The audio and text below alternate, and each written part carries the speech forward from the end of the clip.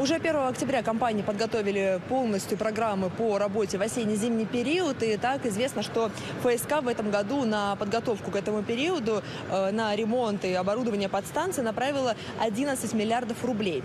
Уже в беседе с главой ФСК Андреем Муровым мы обсудили и программу импортозамещения, насколько сегодня она реализуется в компании.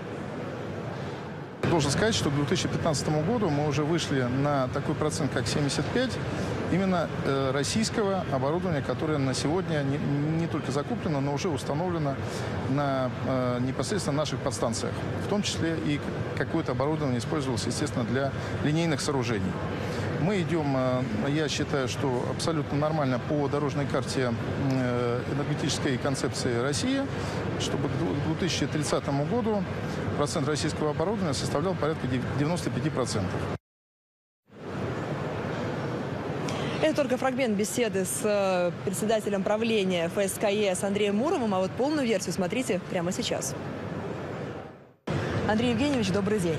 Добрый день. Я знаю, что сегодня активно очень обсуждается и здесь в рамках энергетической недели вопрос импортозамещения. Вот непосредственно как у вашей компании обстоят дела в этом вопросе, насколько же удалось перейти на отечественное оборудование?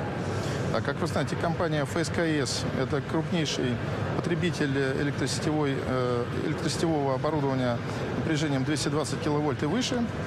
Э, за последние 4 года наша компания закупила такого оборудования, именно силового, так называемого тяжелого оборудования, на э, общую сумму более 32 миллиардов рублей. Должен сказать, что к 2015 году мы уже вышли на такой процент, как 75, именно э, российского оборудования, которое на сегодня не, не только закуплено, но уже установлено на непосредственно наших подстанциях. В том числе и какое-то оборудование использовалось, естественно, для линейных сооружений. Мы идем, э, я считаю, что абсолютно нормально по дорожной карте э, энергетической концепции России, чтобы к 2030 году процент российского оборудования составлял порядка 95%. Это вполне реальная цифра. Э, должен сказать, что за последние годы это действительно процесс этот даже несколько ускоряется. В том числе, наверное, в какой-то степени повлияли на это и санкции небезызвестные экономические. Вот, считаю, что здесь, э, конечно, очень важно такой, чтобы был симбиоз. Симбиоз э, тех преимуществ, которые может предоставить компания, и тех преимуществ, которые дополнительно добавляет, э, добавляет государство. Что я имею в виду? Ну, в частности, такой заказчик, как ФСК, имеет возможность осуществлять прямые закупки, что очень эффективно и практически убирает дополнительные цепочки с рынка. Напрямую закупается оборудование, естественно, оно будет дешевле. Это, конечно, использование тех преференций, которые предлагает нам э, закон 223 и 925 постановление правительства. Но при этом здесь тоже есть отдельные оговорки, отдельные неточности и, самое главное, недосказанности. Мы пытаемся на сегодня работать с ФАИВами по их уточнению. Это, конечно, информационная и экспертная поддержка наших производителей, в том числе их участие в таких э, известных э, ассоциациях, как Ассоциация Сигре. Как вы знаете, это ассоциация предприятий высокого напряжения, высоких э, так называемых систем. Э, наш Российский национальный комитет на сегодня практически полностью укомплектован под комитетами такие же, как работают э, в высоком Сигре. И должен сказать, что наши российские производители активно включились в эту работу. Таким же образом происходит технологический обмен, и мы помогаем этим производителям выходить в том числе на европейский и мировой уровень с точки зрения возможного экспорта их продукции. Для нас это тоже важно. Формально как бы получается, что э, идет экспорт, но на самом деле экспорт же возможен только конкурентоспособной продукции. Поэтому чем она будет выше, тем, естественно, точно так же будут пользоваться и наши заказчики, в первую очередь ЦСК, э, ФСК. И должен здесь сказать, что э, мы видим очень положительные здесь как раз примеры, не только вот такие известные заводы, как изолятор, но и подтянулись уже, так сказать, более мелкие предприятия на, на этом рынке. Что имеется в виду от государства? Что хотелось бы видеть? Вот действительно уточнение определенных норм. В частности, э, э, по происхождению товара, который мы закупаем. Есть определенный так, декларативный характер на сегодня. Хотелось бы, конечно, это тоже снять вот такую двусмысленность определенную. Э, дополнение по определению локализации товара. В ФСК ЕС работает своя методика. Мы ее создавали не один год. Подобные методики есть по определению локализации, есть в авиакосмической, телекоммуникационной промышленности. Мы хотим, чтобы это тоже было на законодательном уровне утверждено.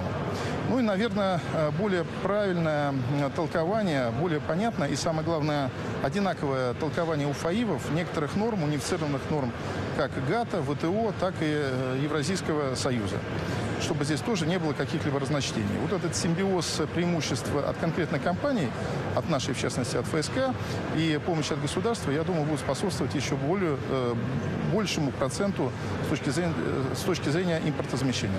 Другой актуальный вопрос, учитывая особенно, что на дворе октябрь.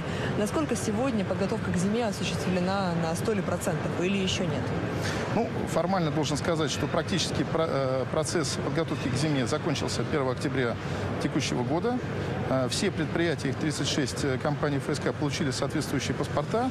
И из 8 наших МЭСов, 6 МЭСов уже получили по процедуре такие паспорта на этой неделе, и 2 получают на следующей неделе, но это чисто по процедуре, которая проводится с точки зрения выдачи этих паспортов заинтересованными государственными органами.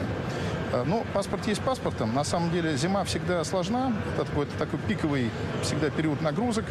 И здесь очень важно отметить, чтобы были готовы не только сетевые компании, ФСК, МРСК, все компании, которые входят в группу Россеть, но чтобы были э, готовы и ТСО, и генерирующие компании, как по оборудованию, так и по топливу.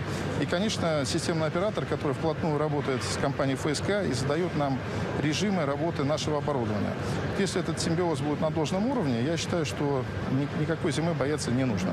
Ну, мне вкратце последний вопрос. Сегодня в ходе одной из сессий вы обсуждали вопрос и цифровизации. Вот на сегодня у ФСК как с этим дела обстоят?